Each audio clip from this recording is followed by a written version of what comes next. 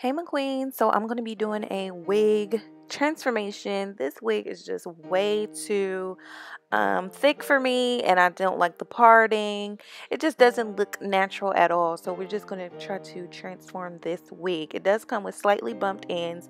This is the New Born Free um, MLC 170. So it does come with the curved part, but I didn't like how the parting space was looking. It was just way too thick. So I went ahead and took off this wig and I have this in true time at this point.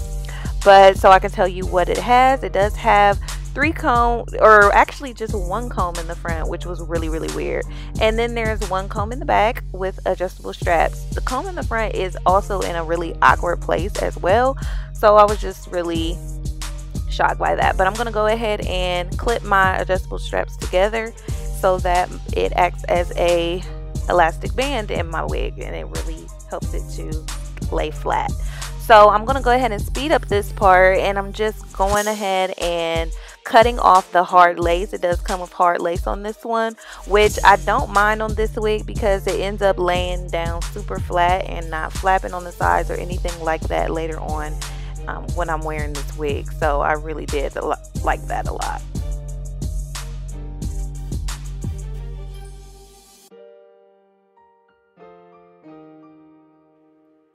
So right here you see me going ahead and putting on the wig and I'm just trying to get a feel for where I have the wig and where I want it to be positioned, whether I want it to be a side part or whether I wanted to kind of shift it towards the middle. And later on you will see that I shifted towards the middle. So I'm just going to take just a of my baby hairs out.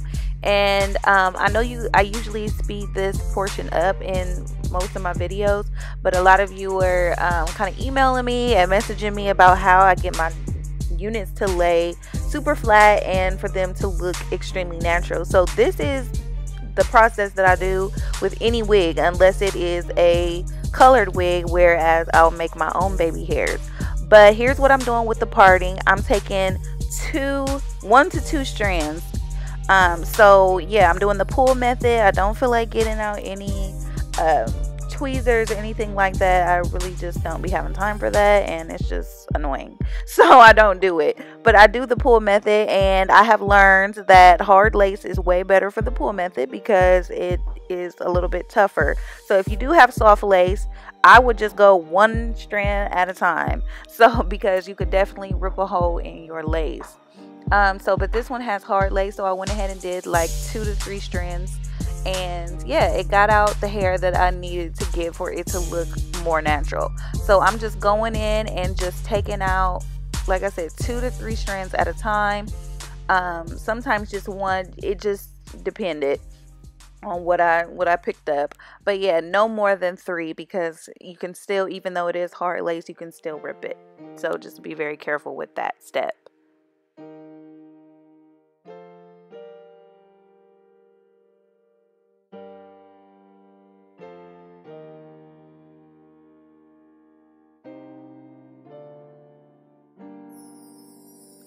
Alright, so here you see me going ahead and using my powder.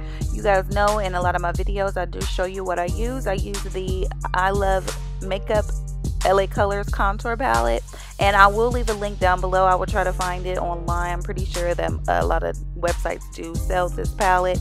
It's just amazing. I really do like it and it's very inexpensive. So and it does come with different shades. So um, even if you don't find the right one for you at first you definitely can try different ones in the palette and something will fit your skin tone.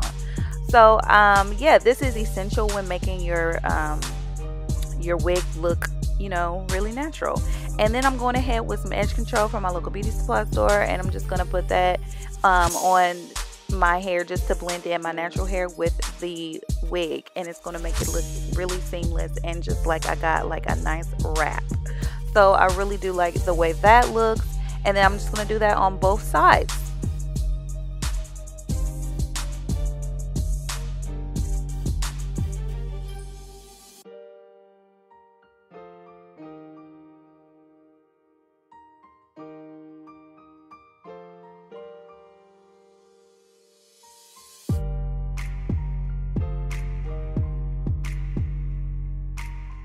So then I'm just going to go ahead and speed up this part of the video because I'm just going to go ahead and comb through this wig.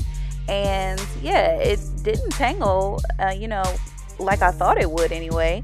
So this like I said in the beginning the wig was just way too thick for me.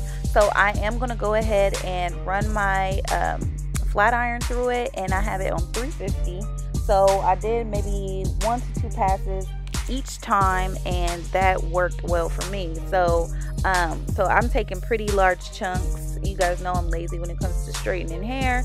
So yeah I'm taking some kind of large chunks and I'm just going to split them into three and try to go ahead and um, get this hair as flat as I can using the rake method using my comb to kind of just um, distribute that heat where it needs to be through this wig because I really wanted to lay a little bit better.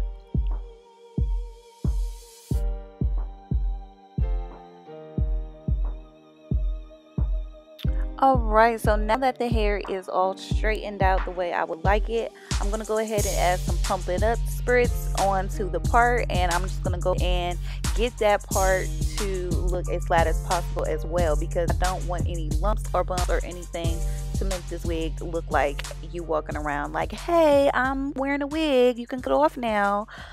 We ain't got that to do. Okay. So I really wanted this wig to have some layers towards the face because I feel like most people, especially African Americans, don't have the same um, hair length all over their hair. It's just unrealistic.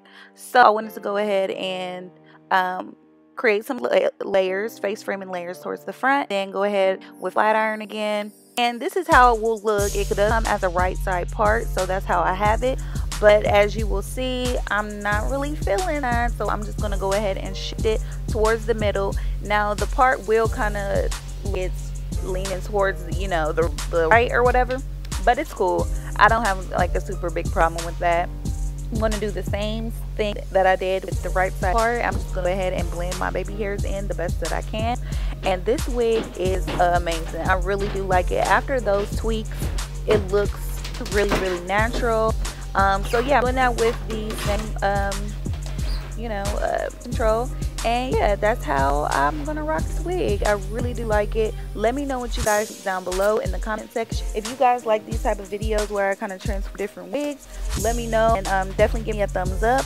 Follow me on snap and instagram. And yeah know what you guys think of this look? And i will see you queen in next video. Subscribe so and yeah i love you guys so much. I will see you queen later